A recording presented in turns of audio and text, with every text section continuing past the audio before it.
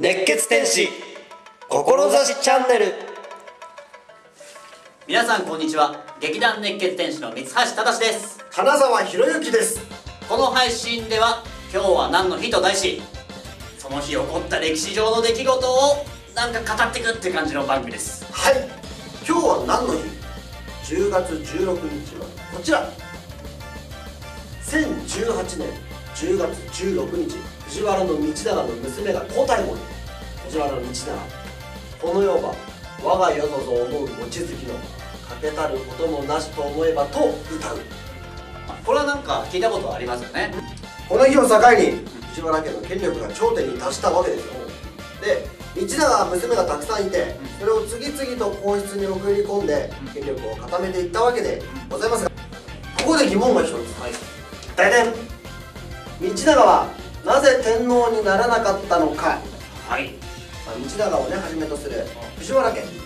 この藤原家っていうのはあくまで後見に権力はいくらでもあって何かあろうと思えばいくらだって変えられたのにそれは絶対にしなかった。えでもそれは普通じゃない。のだって天皇は天皇でしょ？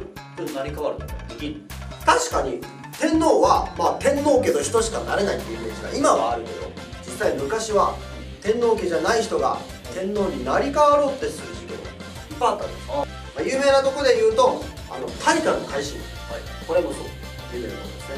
これは当時ね仏教を背景に力を伸ばしてた蘇我のイルカとそのお父さん、蘇我の恵比寿。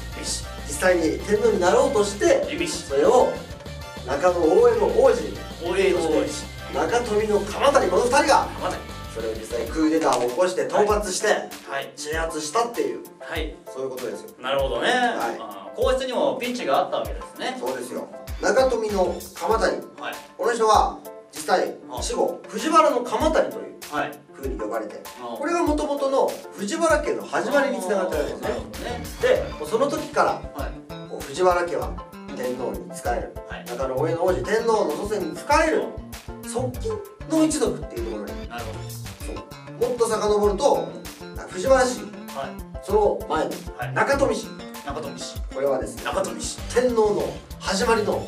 二木の御事。二木の御事。そう。出ました。二木の二木御事。の分かってる？えっと二木の御事の部下。雨の小屋根の御事の子孫でもあるわけです。なるほど。そう。はい。もともと本当にもう直系ではい。天皇に仕える一族っていうところに藤原家はねルーツから天皇の側近であるということにプライドを持っていた藤原家は、うん。まあ、周りもそれを認知していたのではい。どれだけ偉くなってどはい。れだけ交流しようとも、さすがに天皇にはならないだろうと周りの人は思っていたわけです。チャンネル登録はこちら